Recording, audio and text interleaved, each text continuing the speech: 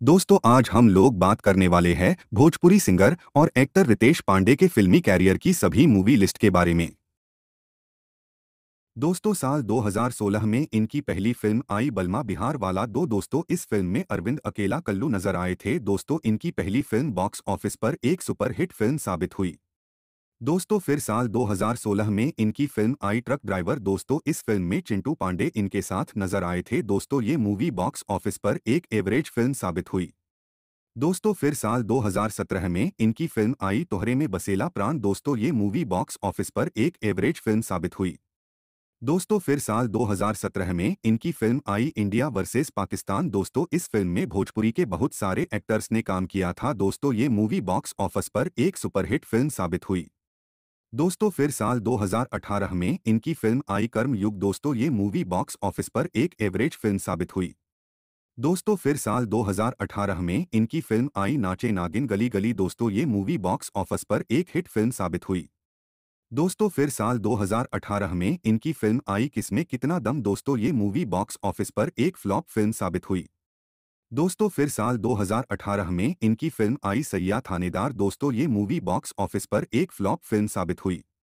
दोस्तों, फिर साल 2019 में इनकी फ़िल्म आई काशी विश्वनाथ। दोस्तों, ये मूवी बॉक्स ऑफ़िस पर एक हिट फ़िल्म साबित हुई।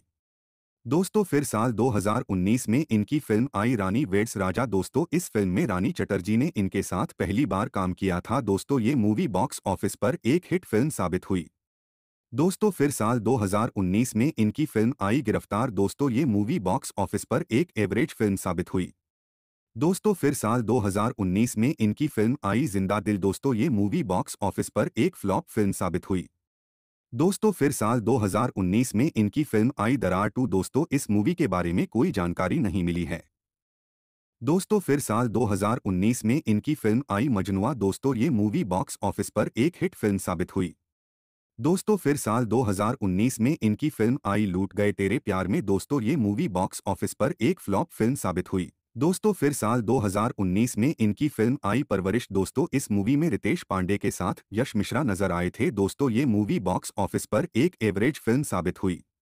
दोस्तों, फिर साल 2019 में इनकी फ़िल्म आई विजयी विश्व तिरंगा प्यारा। दोस्तों, इस मूवी के बारे में कोई जानकारी नहीं मिली है।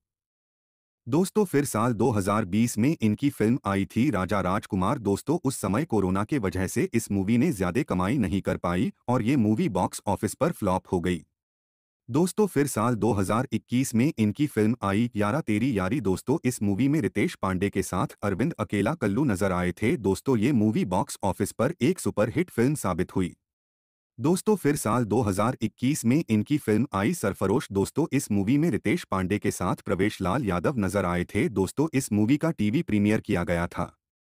दोस्तों, फिर साल 2021 में इनकी फ़िल्म आई सुजानगढ़। दोस्तों, ये मूवी बॉक्स ऑफ़िस पर एक फ्लॉप फ़िल्म साबित हुई। दोस्तों, फिर साल 2021 में इनकी फ़िल्म आई फ़र्ज़। दोस्तों, इस मूवी को भी टीवी प्रीमियर किया गया था। दोस्तों, फिर साल 2021 में इनकी फ़िल्म आई प्रेम मंदिर। दोस्तों, ये मूवी बॉक्स ऑफ़िस पर एक फ्लॉप फ़िल्म साबित हुई। दोस्तों, फिर साल 2022 में इनकी फ़िल्म आई एम एल ए दर्जी। दोस्तों, इस मूवी को भी टीवी पर रिलीज़ किया गया था। दोस्तों, फिर साल 2022 में इनकी फ़िल्म आई सात फेरों के सातों वचन। दोस्तों, इस मूवी को भी टीवी पर रिलीज़ किया गया था। दोस्तों, फिर साल 2022 में इनकी एक वेब सीरीज़ आई लंका में। डंका दोस्तों, इस वेब सीरीज़ को ओ ओटीटी प्लेटफॉर्म चौपाल भोजपुरी पे रिलीज़ किया गया था। दोस्तों, फिर साल 2022 में ही इनकी एक और फ़िल्म आई प्रजातंत्र। दोस्तों, इस मूवी के बारे में कोई जानकारी नहीं मिली है। दोस्तों, फिर साल 2022 में इनकी फ़िल्म आई जीत। दोस्तों, ये मूवी बॉक्स ऑफ़िस पर कुछ कमाल नहीं कर पाई और एक एवरेज फ़िल्म साबित हुई। दोस्तों, फिर साल 2023 में इनकी फ़िल्म आई थी। साक्षी शंकर, दोस्तों, इस मूवी को भी ओटीटी प्लेटफॉर्म पे रिलीज़ किया गया था। दोस्तों, फिर साल 2023 में इनकी फ़िल्म आई थी रामकृष्ण बजरंगी। दोस्तों, इस मूवी को टीवी प्रीमियर किया है। दोस्तों, फिर साल 2023 में इनकी मूवी का ट्रेलर आया था फुलवा। दोस्तों, इस मूवी को भी डायरेक्ट टीवी पर प्रीमियर किया जाएगा। दोस्तों, फिर साल 2023 में इनकी एक और फ़िल्म का ट्रेलर आया था। तू तू मैं मैं दोस्तों, इस मूवी को भी ओटीटी प्लेटफॉर्म जियो सिनेमा पे रिलीज़ किया गया है। दोस्तों, फिर साल 2023 में ही एक और फ़िल्म का ट्रेलर आया था। बबलू की बबली, दोस्तों, इस मूवी को भी टीवी पर प्रीमियर किया जाएगा। दोस्तों, फिर साल 2023 में इनकी एक और फ़िल्म आई थी, सनम मेरे हमराज, दोस्तों, इस मूवी को भी जियो सिनेमा पर रिलीज़ किया जाएगा।